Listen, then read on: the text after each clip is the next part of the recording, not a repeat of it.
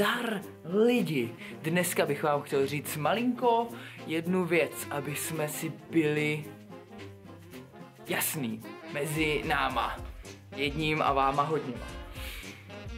Dřepy nechávám na maximálních výkonech, protože i když jsem na maximech, lze udržet rovná záda a všechno technicky správně. Prostě zaberu, ať zaberu jakkoliv, žádná moje partie neprohraje, krom noh, kdy prostě se nezvednu. Neohýbám se jako blázen a netrpí má technika na maximálních vahách a posunování hranicích silově.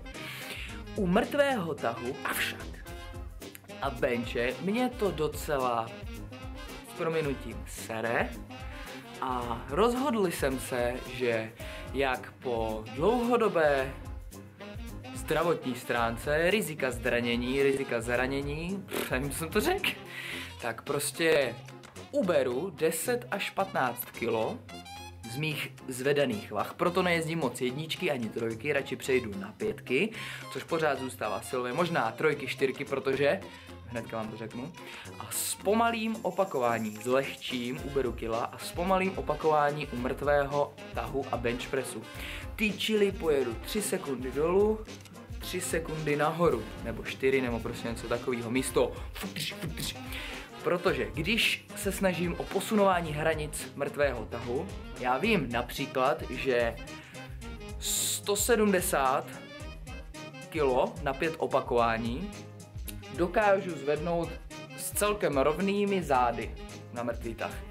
Ale taky vím, že bych dokázal pětkrát zvednout i 180 kg, ale už bych měl takhle celou dobu záda, prostě vohlej jako paragraf. Jednou, dvakrát se to dá zvládnout, ale každý týden dvakrát mít pocit, že chcípnete u každého opakování kvůli tomu, že prostě jste vohlí jako blázni.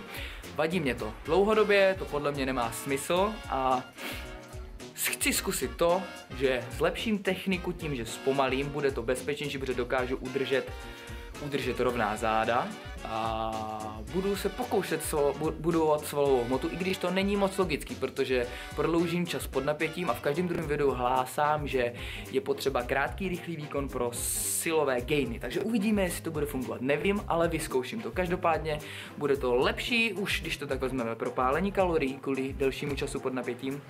Bude to těžší, protože to bude trvat díl a bude to bezpečnější, protože dokážu lépe držet techniku. Taky tu techniku lépe zlepším tím, že budu držet lépe lepší techniku. To samé platí pro bench press.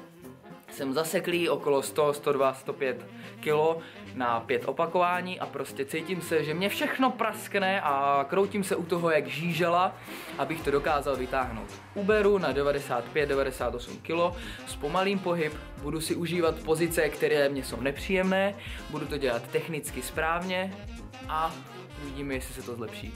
Jestli ne, hold, spadne mě slza, ale dlouhodobě s rizikem zranění, které bude snížené, jsem spokojenější.